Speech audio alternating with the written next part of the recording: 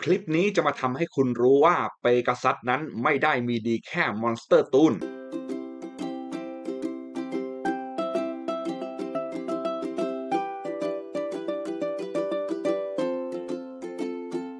สวัสดีครับยินดีต้อนรับเข้าสู่มูเก่งแฟนตาซีนะครับผมสำหรับจักรวาลการ์ดยูกิโอในคลิปนี้ ผมจะเอามอนสเตอร์อีกเซตหนึ่งของเปกาซัสมาคุยให้กับทุกคนฟังนะครับ หลังจากที่ผมได้ทำของมอนสเตอร์ toon ไปแล้วนะครับ ก็อย่าลืมว่าเปกาซัสมีมอนสเตอร์อีกเซตหนึ่งครับ ตอนที่ต่อสู้กับยูกิเนี่ยใช้ toon ในช่วงแรกใช่ไหมแล้วก็เขาจะใช้เซตมอนสเตอร์เซตนี้นะครับซึ่งก็คือเซตมอนสเตอร์ที่เรียกว่า Sacrifice นั่นเองนะครับซึ่งไอ้มอนสเตอร์ Sacrifice อันนี้เป็นมอนสเตอร์มหัศจรรย์มากนะครับพลังโจมตีศูนย์แต่ว่าเอฟเฟกต์นี่เหลือล้ำมาก เดี๋ยวแต่ละตัวเนี่ยมีเอฟเฟกยังไงจะไปคุยให้ฟังกันเนาะแต่ก็ต้องเกริ่นก่อนนะครับว่าไอตัวเนี้ยมันโผล่มาในอนิเมะประมาณหนึ่งครับแต่ว่ามีตัวอื่นเนาะที่โผล่มาเป็นการ์ดทางการอีกทีนึงแล้วก็ ไม่ได้มีการใช้ในอนิเมะแต่อย่างใดนะครับวันนี้ผมก็เอาไอ้พวกการ์ดที่ไม่ได้โผล่ในอนิเมะอย่างเงี้ยมาคุยให้กับท่านผู้ชมฟังด้วย หลักๆเนี่ยตัวมอนสเตอร์จะมีทั้งหมด 8 ตัวนะครับที่มีความเกี่ยวข้องเกี่ยวโยงกับตัว Sacrifice นะครับแล้วก็จะมีการ์ดเวทมนต์แถมมาหนึ่งใบ ที่เอามาใช้กับ Sacrifice ได้นะครับคือพอพูดถึงมอนสเตอร์ที่เป็นแบบเซตพวก Sacrifice อะไรพวกนี้ท่านผู้ชมแบบเคยใช้กันนะ ผมเองไม่เคยแบบว่าสนใจเลยนะไอเซตนี้นะครับไม่ค่อยอยู่ในสายตาว่างั้นเถอะเพราะว่ารู้สึกว่ามันเป็นมอนสเตอร์ตัวหนึ่งที่เฮ้ยเวลาเห็นในอนิเมะก็ดูสยองขวัญดีนะแต่ในชีวิตจริงนะครับในเล่นเกมจริงเนี่ยผมก็ไม่แน่ใจว่ามันใช้งานได้ยังไงไว้แต่ว่าพอมาดูดูเอฟเฟกแล้วเอ้ยก็ถือว่าเป็น deck หนึ่งที่เล่นได้ไม่ขี้เหร่นะผมใช้คำนี้นะครับแม้ว่าตัวเองจะไม่เคยเล่นก็ตาม แต่ว่าอ่านเอฟเฟกมาแล้วก็พอได้นะพอได้อะแล้วก็ต้องบอกว่าคลิปนี้นะครับผมหาโดยที่ว่า search ตัว sacrifice นะครับแล้วก็มันจะมีตัวฟิวชั่นนู่นนี่นั่น แล้วผมก็ดูว่าเฮ้ยมันน่าจะฟิวชั่นกับตัวอะไร ก็ไปหาตัวที่มันเชื่อมโยงกัน แล้วผมต้องบอกว่ามันจะมีมอนสเตอร์บางตัวที่ติดชื่อคำว่า sacrifice อะไรพวกนี้ด้วยนะครับแต่ว่ามันไม่ได้เกี่ยวข้องกับ sacrifice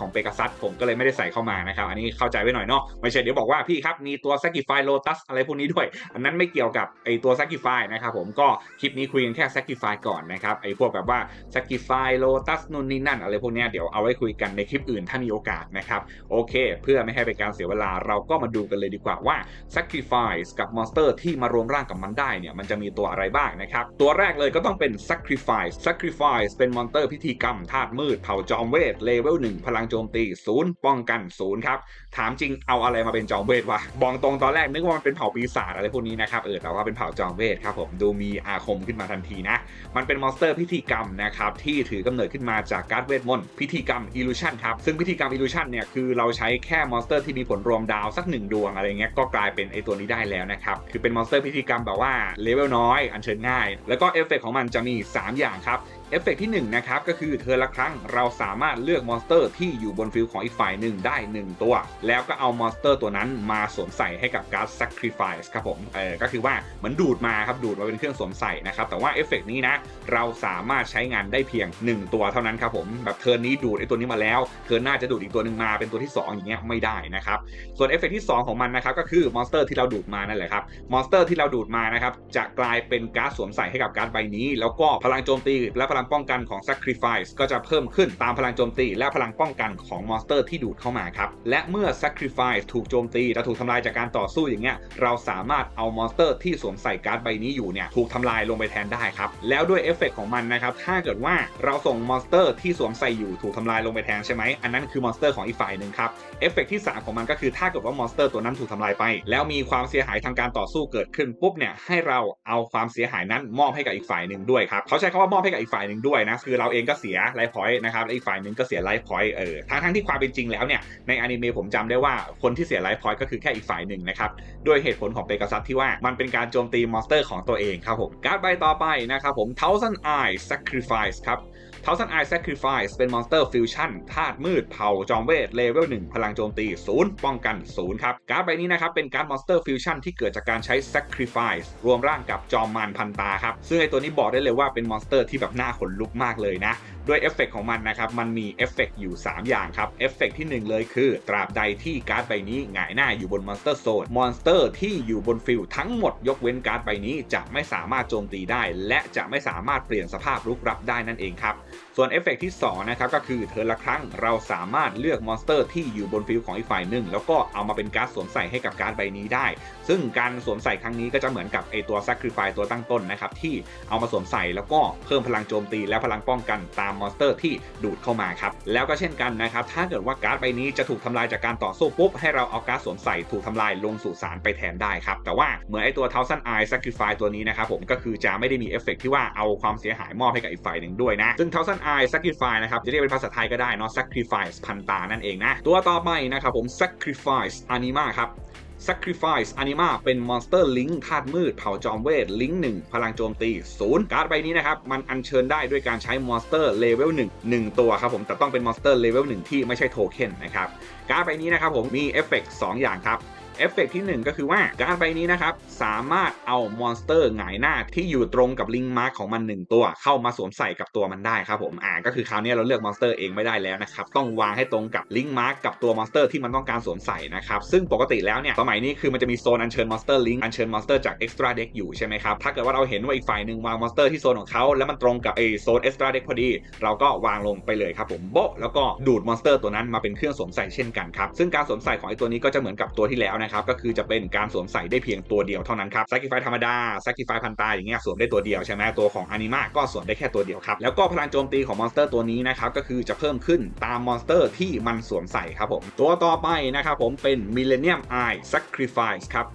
Millennium Eye Sacrifice เป็นมอนสเตอร์ฟิวชั่นธาตุมืดเผ่าจอมเวทเลเวล1พลังโจมตี0ป้องกัน0ครับ ให้มันชัดไปเลยว่าไอ้พวกตระกูล Sacrifice เนี่ยโจมตี0ป้องกัน0หมดเลยนะ Millennium คือเท่าไหร่ครับ 1 ล้านใช่ไหมอ่า ซึ่งไอตัวของมันนี้นะครับผมอาจจะมีดวงตาที่น่าขนลุกกว่าไอตัวพันตานะ Millennium Eye Sacrifice นะครับผมหรือ Sacrifice 1 ล้านดวงตาเนี่ยมันเป็นมอนสเตอร์ที่เกิดจากการฟิวชั่นของ Sacrifice กับ Monster Effect ครับผมอ่าซึ่ง Monster Effect ท่านี้ก็คือจะเปิดกว้างแล้วนะครับเอาตัวไหนมารวมก็ได้แต่ว่าเดี๋ยวจะมีตัวที่ผมสันนิษฐานว่าเป็นร่างรวมที่แท้จริงของไอตัวนี้นะครับอะเดี๋ยวมาดูเอฟเฟกของไอตัวนี้กันก่อนครับเอฟเฟกของไอตัวนี้นะครับก็คือเธอละครั้ง เวลาที่อีกฝ่ายหนึ่งมีการใช้งานเอฟเฟกของมอนสเตอร์เราสามารถเลือกมอนสเตอร์ที่อยู่บน field หรืออยู่ในสุสานของอีกฝ่ายหนึ่งนะครับเอามอนสเตอร์ของอีกฝ่ายตัวนั้น มาเป็นการสวมใส่ให้กับการ์ดใบนี้ และพลังโจมตีพลังป้องกันของการ์ดใบนี้ ก็จะเพิ่มขึ้นตามพลังโจมตีพลังป้องกันของมอนสเตอร์ที่มันสวมใส่ครับคือเป็นเอฟเฟกที่แบบว่าน่าจะกวนๆนิดนึงนะถ้าเกิดว่าอีกฝ่ายหนึ่งประกาศใช้เอฟเฟกมอนสเตอร์อย่างนี้ใช่ไหมเราก็เอามอนสเตอร์ตัวนั้นมาสวมก่อนที่จะใช้งานเอฟเฟกครับอย่างนี้ก็คือทำได้เหมือนกันครับขัดเอฟเฟกยังไม่พอนะเอามาเป็นเครื่องสวมใส่เพิ่มพลังโจมตีป้องกันให้กับตัวเองด้วย หรือถ้าเราไม่ต้องการสวมไอ้มอนสเตอร์ที่ใช้เอฟเฟกนั้นเราก็เอาจากสุสานเนี่ยหนึ่งตัวมาสวมใส่ได้นะครับนอกจากนั้นแล้วนะครับผมเอฟเฟกของ Millennium Eye Sacrifice ยังมีอีกอันนึงก็คือว่า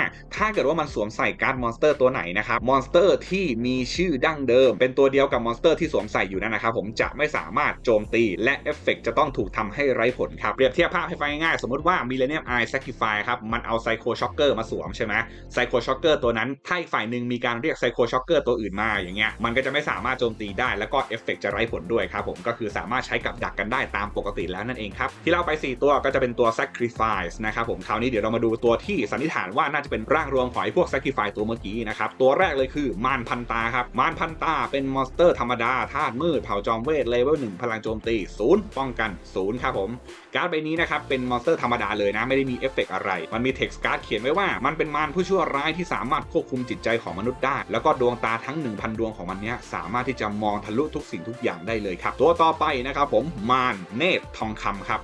มารเนตทองคำเป็นมอนสเตอร์เอฟเฟกธาตุมืดเผ่าจอมเวทเลเวล1พลังโจมตี0ป้องกัน0ครับซึ่งไอตัวนี้แหละครับผมที่ผมสันนิษฐานว่ามันเป็นร่างรวมให้กับไอตัว Millennium Eye Sacrifice แน่นอนเนาะเพราะว่าตัวของ Millennium Eye Sacrifice มันก็มีความทองใช่ไหมและไอตัวนี้แม่งก็ทองอร่ามเชียว นอกจากนั้นแล้วยังมีดวงตาปูดๆนู่นนี่นั่นอยู่กับตัวของมันนะครับ เพราะฉะนั้นเนี่ยสันนิษฐานได้ว่าเป็นไอตัวนี้นั่นแหละนะอ่าแต่นี่เป็นข้อสันนิษฐานนะครับไม่ได้คอนเฟิร์มนะเดี๋ยวจะบอกว่าทำไมมาดูเอฟเฟกของไอตัวมารเนตทองคำนี้กันก่อนดีกว่านะครับผมเอฟเฟกของมันนะครับผมมีอยู่ 2 อย่างครับ เอฟเฟกที่ 1 เลยนะครับก็คือเราสามารถใช้งานได้ turn ของอีกฝ่ายหนึ่งครั้ง turn ของเราก็สามารถใช้งานได้อีกหนึ่งครั้งครับก็คือเราสามารถดูการ์ดบนมือของอีกฝ่ายหนึ่งได้ทุกใบครับถ้ามีการใช้งานเอฟเฟกนี้ปุ๊บนะครับตัวของมารเนตทองคำจะมีชื่อเป็นมารพันตาครับผมมารพันตาก็คือตัวเมื่อกี้ใช่ไหมอ่าซึ่งเอาไว้ทำไมครับเอาไว้รวมร่างเพื่อให้กลายเป็นไอตัว sacrifice พันตานั่นแหละนะมันดีตรงที่ว่าสามารถใช้งานได้ใน turn เราแล้วก็ turn อีกฝ่ายหนึ่งด้วยครับเราก็เลือก timing ที่เหมาะสมเลยว่าจะให้มันเป็นตาทองคำหรือจะให้มันเป็นพันตานะครับผมส่วนเอฟเฟกที่2นะครับเอฟเฟกนี้จะสามารถใช้งานได้เพียง turn ละครั้งเท่านั้น นั่นก็คือถ้ามันถูก remove ออกจากเกม หรือถูกส่งลงไปสุสานด้วยเอฟเฟกนะครับเราสามารถเลือกมอนสเตอร์เอฟเฟกที่อยู่บน field ของอีกฝ่ายหนึ่งได้ 1 ตัว หลังจากนั้นให้เราเอามอนสเตอร์เอฟเฟกตัวนั้นไปสวมใส่ให้กับมอนสเตอร์ sacrifice ที่อยู่บน field ของเราครับ ซึ่งการสวมใส่นี้ก็จะอ้างอิงเป็นเอฟเฟกของ sacrifice ได้เลยนะครับก็คือ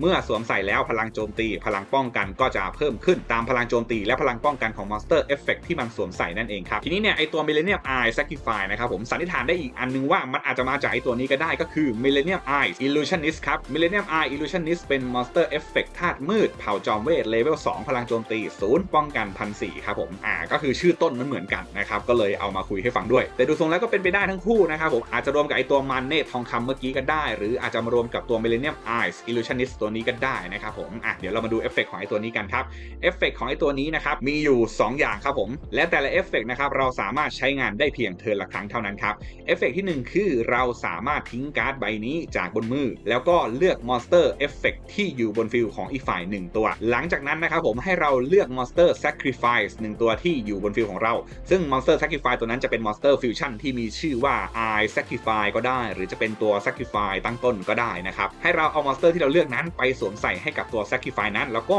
เอฟเฟกนี้จะถือว่าเป็นเอฟเฟกการสวมใส่ของตัว Sacrifice นะครับก็คือว่าจะทำให้มอนสเตอร์ตัวนั้นมีพลังโจมตีและพลังป้องกันเพิ่มขึ้นตามมอนสเตอร์ที่สวมใส่นั่นเองครับ ส่วนเอฟเฟกที่ 2 ของตัว Millennium Eyes Illusionist นะครับก็คือ ถ้าเกิดว่าบน field นั้นมีการอัญเชิญฟิวชั่นตัว Eye Sacrifice หรือจะเป็นการอัญเชิญพวกมอนสเตอร์ Sacrifice อะไรพวกนี้ถูกอัญเชิญลงมาแบบพิเศษแล้วใช่ไหม เราก็สามารถเอาตัว Millennium Eyes Illusionist จากสุสานกลับขึ้นมาบนมือได้ครับ เอากลับขึ้นมาบนมือเพื่ออะไร เอากลับขึ้นมาบนมือเพื่อมาใช้เอฟเฟกที่ 1 ที่เล่าให้ฟังเมื่อกี้แหละครับผมตัวต่อไปนะครับผมเมื่อกี้เป็น Millennium Eyes Illusionist นะครับคราวนี้ก็คือจะเป็น Dark Eyes Illusionist ครับผมซึ่งไอตัวนี้นะครับก็เป็นมอนสเตอร์ที่เปกัสซัสใช้เช่นกันนะครับ แต่ว่าตัว Millennium Eyes เมื่อกี้ไม่ได้ใช้เออแต่ว่าตัวของ Dark Eyes Illusion นะครับ เป็นมอนสเตอร์ reverse ธาตุมืดเผ่าจอมเวทเลเวล2พลังโจมตีศูนย์ป้องกันพันสี่ครับ ซึ่ง status เนี่ยเห็นได้เลยว่าเท่ากับไอตัวเมื่อกี้เลยนะครับผมตัว Millennium Eyes เนาะแต่ว่าตัวนี้ยังเป็นมอนสเตอร์ที่เอฟเฟกไม่ได้หวือหวามากมายครับผมมันเป็นมอนสเตอร์ reverse ใช่ไหมเอฟเฟกของมันก็คือถ้ามัน reverse ขึ้นมาบน field เสร็จปุ๊บเราเลือกมอนสเตอร์ที่อยู่บน field หนึ่งตัว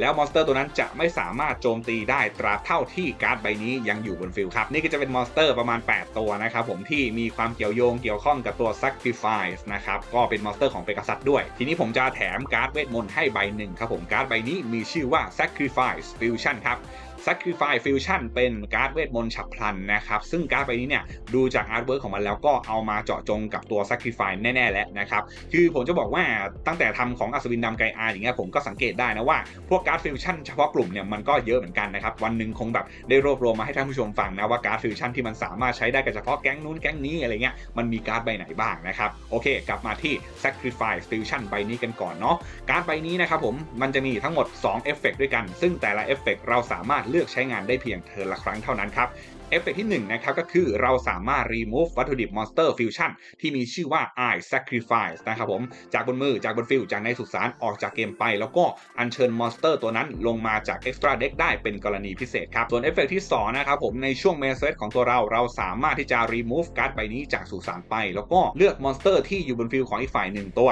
นอกจากนั้นเราก็เลือกมอนสเตอร์ eye sacrifice หรือมอนสเตอร์ sacrifice ที่อยู่บน field ของเรา1ตัว แล้วก็เอาไปสวมใส่ โดยถือว่าเป็นเอฟเฟกของพวก sacrifice นั่นเองนะครับ ก็คือจะเพิ่มพลังโจมตีและพลังป้องกันตามมอนสเตอร์ที่มันดูดเข้าไปสวมใส่ให้กับตัว Sacrifice นั่นเองครับ ทั้งหมดนี้ก็จะเป็นเรื่องราวของมอนสเตอร์ Sacrifice นะครับผมเอฟเฟกของมันก็อย่างที่บอกนะ ผมเชื่อว่าทำให้คนหงุดหงิดได้แบบมอนสเตอร์กูอยู่ของกูดีๆมึงดูดเอาไปใช้ทำไมอะไรเงี้ย แล้วก็การดูดทุกคนสังเกตว่ามันไม่ได้จำกัดเลเวลด้วยใช่ไหมหมายความว่าถ้ามีอย่าง Ultimate อยู่บน field อย่างเงี้ยก็ดูด Ultimate เข้าไปได้เลยครับผมบ้าบอคอแตก ตัวแค่นี้มึงดูดมังกร3หัวเข้าไปได้ไงวะถ้าหากว่ามีการ์ดอื่นนะครับที่เกี่ยวข้องกับพวก Sacrifice พวกนี้นะครับผมที่ผมอาจจะตกหล่นไปท่านผู้ชมก็คอมเมนต์พูดคุยกันได้นะครับ หรือท่านผู้ชมมีความคิดเห็นยังไงเกี่ยวกับเจ้ามอนสเตอร์เซตนี้นะครับก็มาแชร์กันด้วยนะ ถือว่าเป็นมอนสเตอร์ตัวหนึ่งที่ผมเชื่อว่าขนลุกอันดับต้นๆของซีรีส์ยูกิโอแน่นอนครับโดยเฉพาะขอพูดเลยนะไอดวงตายิกยิกยิกยิของมันเนี่ยเออคือแบบผมมีเพื่อนคนหนึ่งที่แบบไม่ชอบอะไรที่แบบ เป็นจุดๆ เป็นคล้ายๆ กลมๆ อะไรเงี้ยเยอะๆ นะครับผมโยเยโยเยะนะ ผมก็เลยคิดว่าน่าจะมีอีกหลายคนที่แบบว่าเห็นภาพแบบนี้แล้วก็จะขนลุกได้เหมือนกันนะครับ โอเคสำหรับวันนี้ผมก็มีมาพูดคุยให้ฟังเพียงเท่านี้แหละ ใครที่ดูและชอบก็อย่าลืมกดไลค์ กด subscribe กดแชร์ กดกระดิ่ง เป็นกำลังใจให้ผมด้วยนะครับ และเดี๋ยวไว้พบกันใหม่คลิปหน้า สวัสดีครับ